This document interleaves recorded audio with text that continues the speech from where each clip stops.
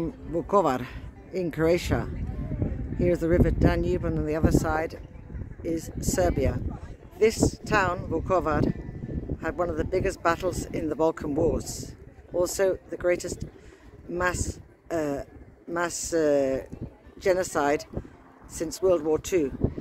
More than 200 people were killed and slaughtered by the Serbs, but more than 8,500 people died or are missing.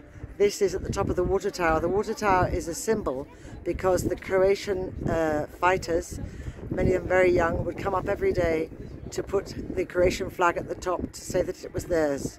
It was destroyed eventually by the Serbian forces and has been reconstructed partially with private donations. And this is a place where Croatians come, a place of pilgrimage.